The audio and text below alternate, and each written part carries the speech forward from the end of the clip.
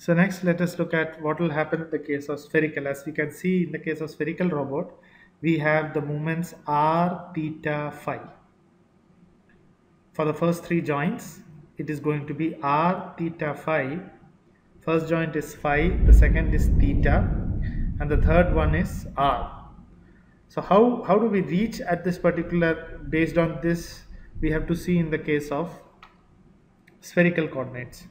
So here the original NOA axis was at the origin and from there it first moved uh, translatory distance in z direction. So let me write with respect to r the transmission matrix the transformation matrix of P will be let us write it as spherical robot. So it is going to be r theta phi. And it is going to be based on the three movements. The first movement is in z direction it will move at distance of r. So it will move from 0 all the way it will reach here. Let us say that this is r.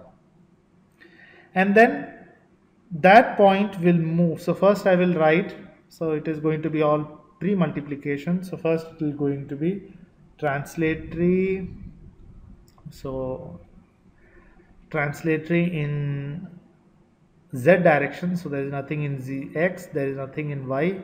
In z direction it is going to be r. Pre-multiplied the next movement will be it is going to come in this particular direction. So the vector basically moves from uh, what do you say let me draw it properly. So it will move from z axis it will tilt down and that angle is going to be theta angle.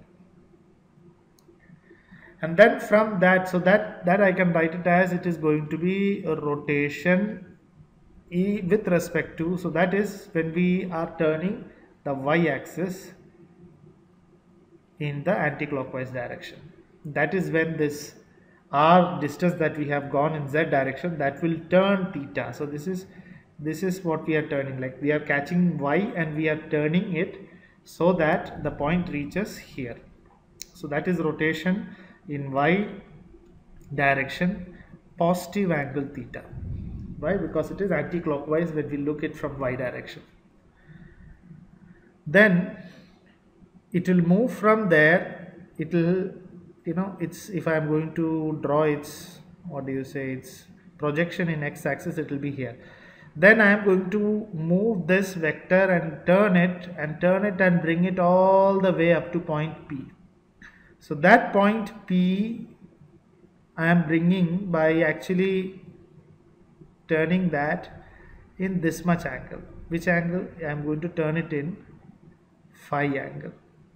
In which direction it is turning in the rotating with respect to z axis I am going to turn so I am going to write it as rotation with respect to z axis angle phi. And we know how to write so now I will write that the matrix will look something like let me write it very clearly. For the rotation with respect to z I can write C phi because it's angle phi c phi minus sine phi sine phi cos phi 0 0 1 0 0 that is the rotation part with uh, scaling factor of 0 there is no translatory motion so this is going to be the matrix for rotation with respect to z axis an angle of phi. Next rotation with respect to y axis so with respect to y it will come something like this. Cos this is angle not phi but it is theta. So c theta 0 sine theta 0 1 0 minus sine theta 0 cos theta. Then scaling factor of 0 and then finally there is no translation in any direction because it is rotation with respect to y so that ends the matrix there.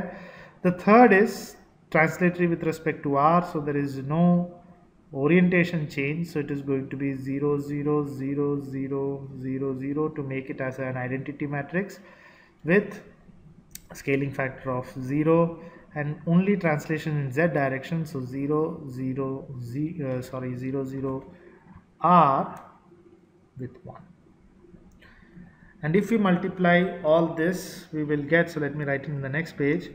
So when we multiply all of this we will get the t spherical for the case of a spherical robot which is having a moment of r theta phi.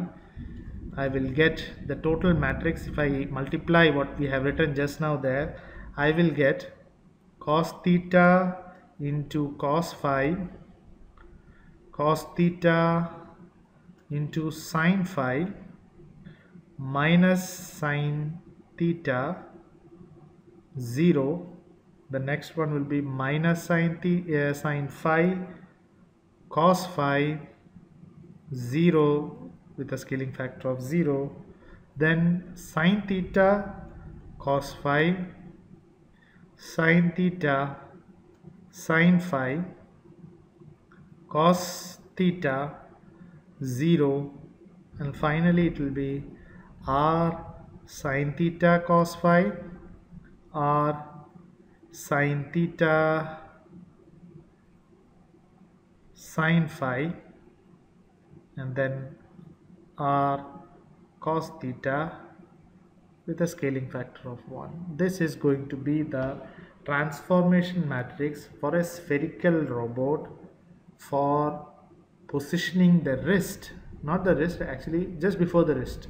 So positioning the cylinder, the spherical robot at a position P defined by r theta phi.